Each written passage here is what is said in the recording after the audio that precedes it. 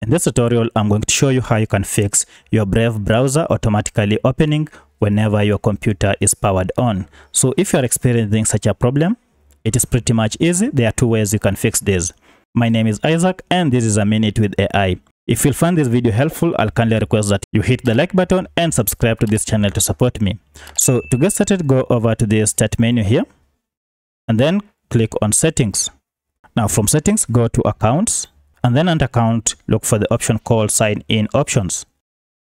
Now under here, scroll down until you see these two options, restart apps and privacy. Now go ahead and toggle these off if they are on.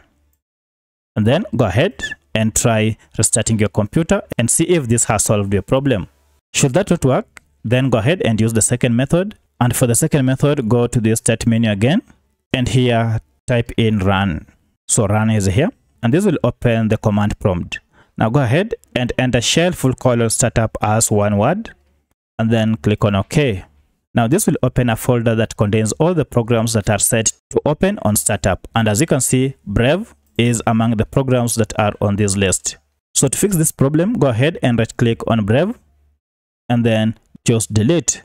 And now our folder is empty. From here, the problem will have gone away.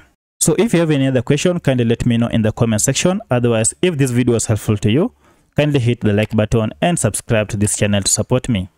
Thanks for watching and let's meet in the next video.